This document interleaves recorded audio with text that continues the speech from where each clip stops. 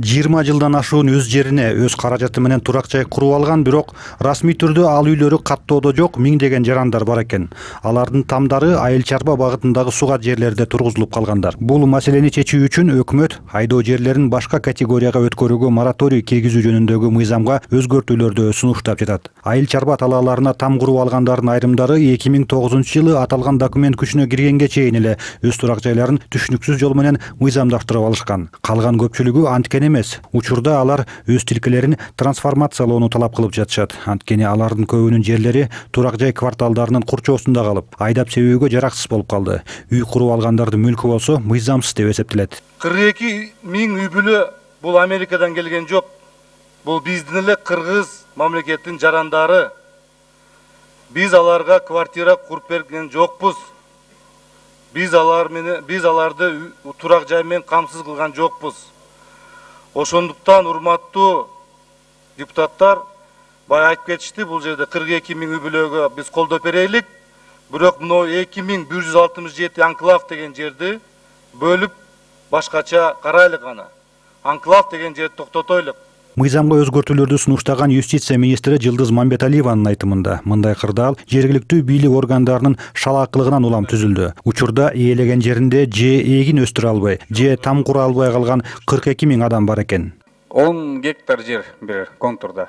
Ошонун тогузун салып алышты. Ортосунда баягы законопослушный бир гражданинибиз сугарып жүргөн. Азыр ага суу да барбайт. Ортодо калды анын жери эмне болот анан? Үй салган эмес. Ал деген ошо сугат жерде ошо менен оокат кылып атат да. Анан бүгүнкү күндө аныкы кандай болот.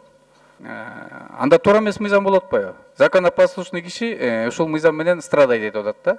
А акчасы барлар убагында разводить этип мындай айтканда бүтүрүп алган.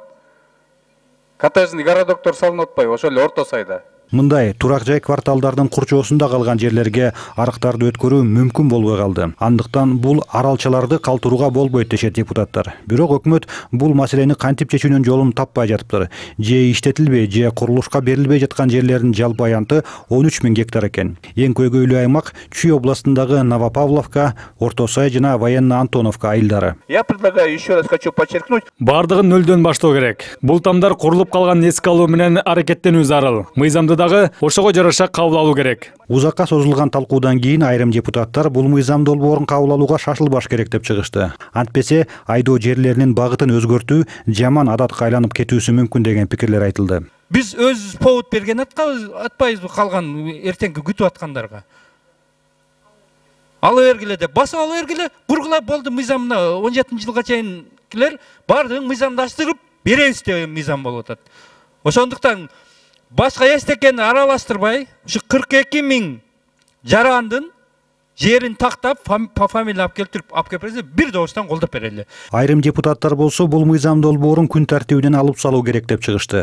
алардын пикиринде ар бир жер тилкеси боюнча текшерүү жүргүзүп атайын тизме түзүп анан гана маселени кайрадан кароо керек экен бирок бул сунуш өтпөй калды документ бүгүн биринчи окууда каралып ал боюнча добуш берүү эртең болмокчу миржан балыбаев елена яковлева алтынбек каныбек уулу нтс